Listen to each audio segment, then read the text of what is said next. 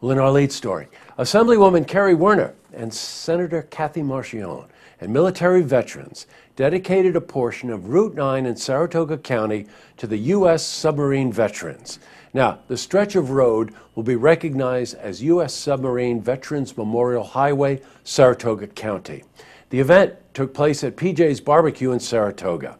Now, Saratoga County, as you know, has a rich military heritage and a powerful naval presence, including the Naval Nuclear Power Training Unit in West Milton. Now, we were there today and we spoke to Assemblywoman Woerner. I think in our community we honor our history very strongly, and, and to have a marker that, that commemorates the the uh, the service of our Navy veterans, particularly the submarine service, um, I think it will fill people with pride. It does me, at least.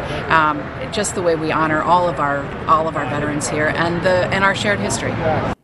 You know, I was there today, and uh, it's really something when you see a group of veterans get together. There's just something about the brotherhood.